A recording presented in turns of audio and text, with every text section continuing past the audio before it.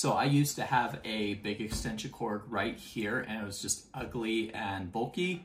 And then I had all the USB and USB-C extension pieces plugged into it and cables everywhere. So I got sent one of these and I absolutely love it. So I'm able to plug my USBs in, my USB-Cs, and then it only has one cable going to the wall. So it's super kind of clean looking, low profile.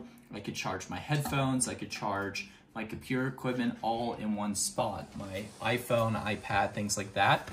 Um, so I really love that it's able to do all that. Plus it goes all the way up to 140 watt and then down to 30 watts. So you have a huge range of, depending on what devices you're plugging in and how much charge they need to get fully charged or how fast you need to charge them. So if you're looking for something like this, I highly suggest this. It's been game changer in my office having this around and not having to run the extension cords with all the little white blocks everywhere.